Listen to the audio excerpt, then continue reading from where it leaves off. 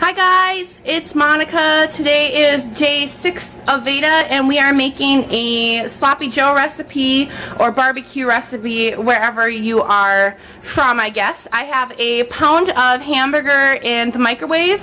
I have some frozen onions that I just took out of the freezer. I have a bottle of Worcestershire sauce to add to my hamburger and some chili powder.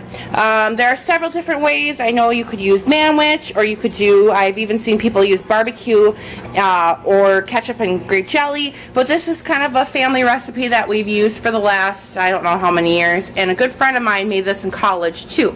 So once the hamburger is um, out of the oven, I'm going to start frying on my skillet, which I have out today because I absolutely love this skillet and then we will get rolling. So I will see you guys back in a second. Alright, so my hamburger is now browning. I have the onions, the Worcestershire sauce, and the chili powder in here. Um, you know, I was also taught to, the longer the better. You can let your meat sit and marinate in this.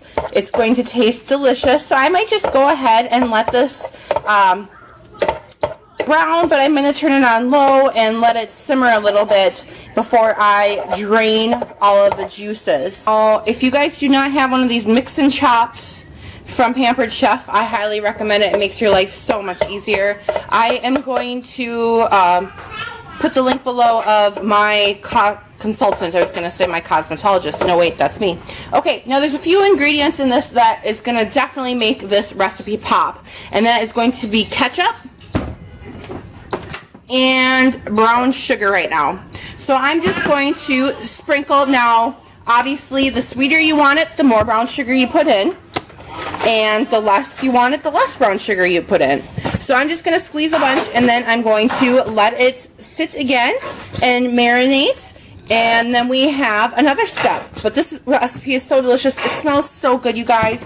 I am on this diet, which I will do for you um, a review tomorrow which has worked. I've lost like four and a half pounds in the last two weeks. So this recipe and this food is not for me.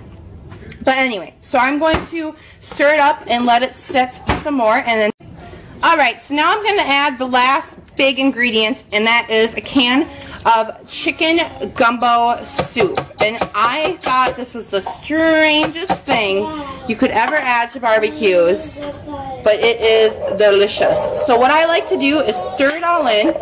I'm doing this with my left hand, so it's not working so well. I'm going to stir it all in, and then I'm going to steam out the juices. So I'm going to crank it up, get all those juices out, and then it's just going to have this beautiful brown color all around and ready to serve sloppy joes.